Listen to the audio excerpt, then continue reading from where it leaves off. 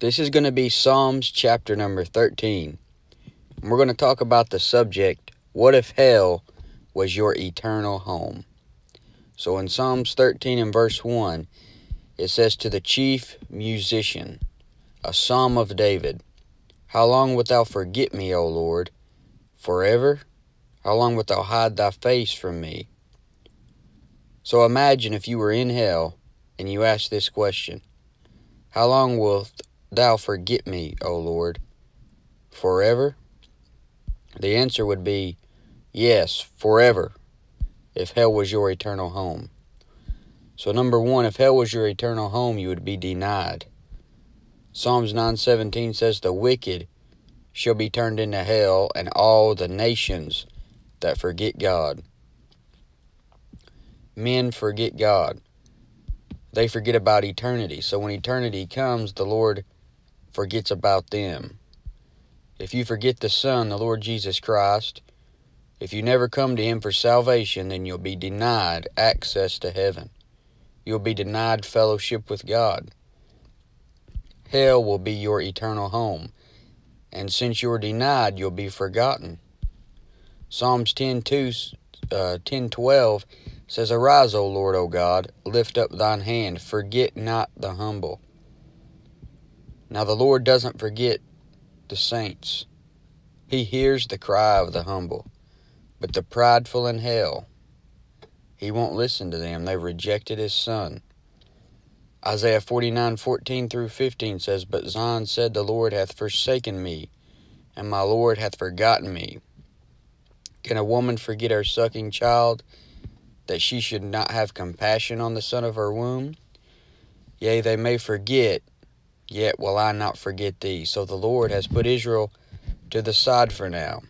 They are blind in part, but he hasn't forgotten his covenant with Abraham. And if you're born again, then the Lord won't forget you or deny you access into heaven. If you're saved, he's not going to forget you. He's not going to deny you. And when he comes to get you at the rapture, you're not going to be forgotten. Have you ever been left by a school bus or a ride to work or missed a plane? Has someone ever forgot about you? Maybe they forgot about eating dinner with you and stood you up, but if you're a born again believer, then the Lord won't forget you. Hebrews 13:5 said, For he hath said, I will never leave thee nor forsake thee. Luke 16:24 through 25 says this about the rich man. It says, And he cried and said, Father Abraham, have mercy on me and send Lazarus that he may dip the tip of his finger in water and cool my tongue, for I am tormented in this flame. But Abraham said, Son, remember that thou in thy lifetime receivest thy good things, and likewise Lazarus evil things. But now he is comforted, and thou art tormented. So the rich man is forgotten. But if you're born again, you'll live in eternity with Abraham and Lazarus. But what if hell was your eternal home? You would be denied. And you would also be defeated. In Psalms 13 2, it says, How long shall I take counsel in my soul, having sorrow in my heart daily? How long shall mine enemy be exalted over me? If you're in hell, you're defeated. In this life, before death, you have hope in Jesus Christ if you're saved. And a lost man has hope that medicine or a doctor can help him. He has hope that someone will relieve him of his sorrow and pain. But there is no hope in hell. You will sorrow daily.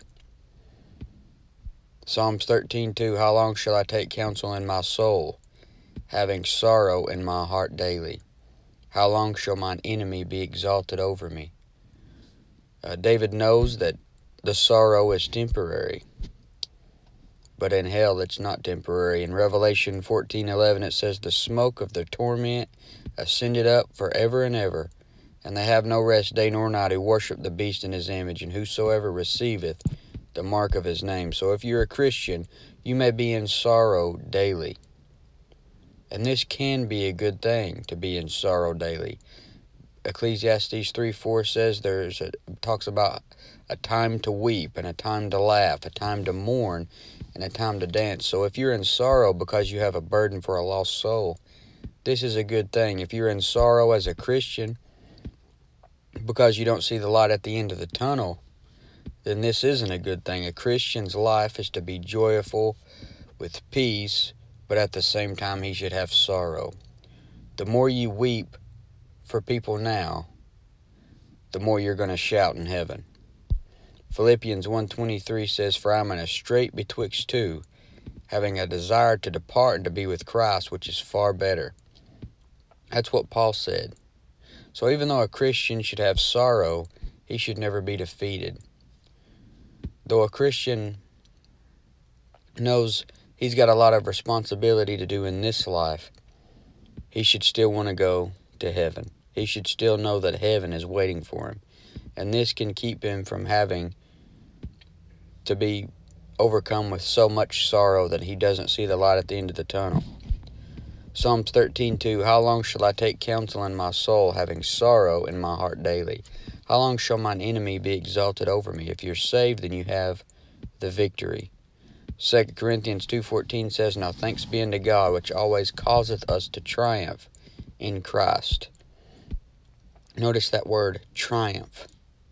1 Peter 5 6 says, Humble yourselves, therefore, under the mighty hand of God, that he may exalt you in due time.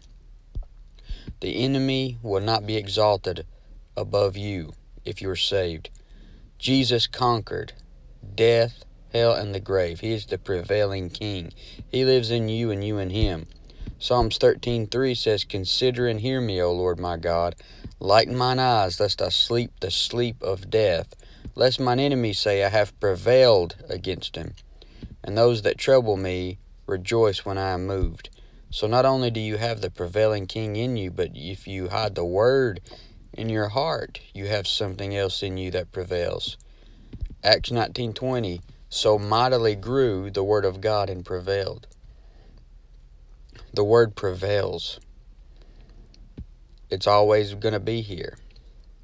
It's a uh, God is going to preserve His word from this generation to forever.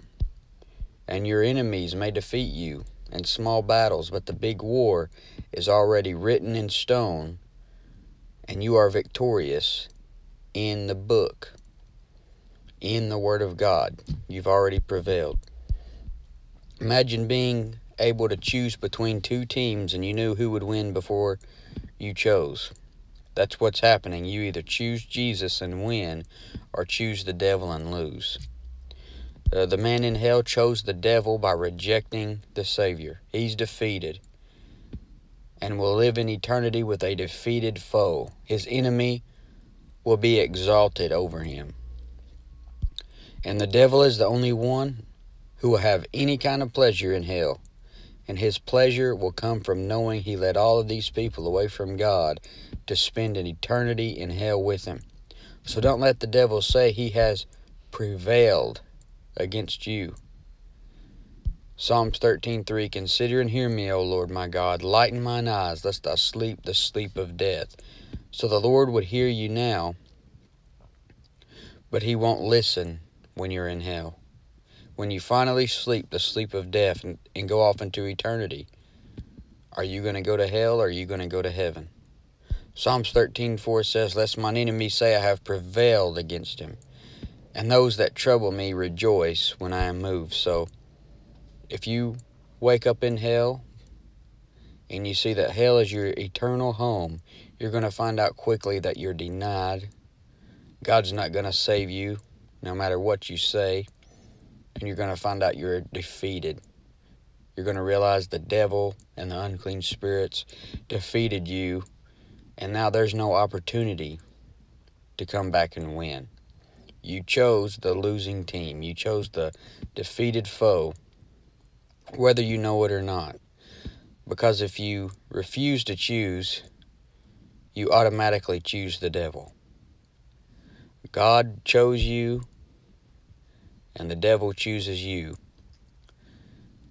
Now you have to break the tie. You have to come to Jesus and break the tie.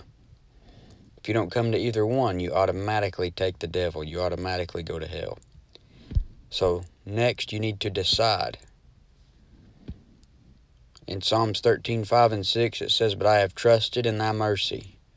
My heart shall rejoice in thy salvation. I will sing unto the Lord because he hath dealt bountifully with me. So David says, I have trusted in thy mercy. Mercy is God keeping you from something you deserve. You deserve hell. You deserve for that to be your eternal home. You deserve to be denied. You deserve to live eternity as a defeated sinner. You deserve hell, but if you decide to believe the gospel, then you have salvation. And your eternal home will be heaven and not hell.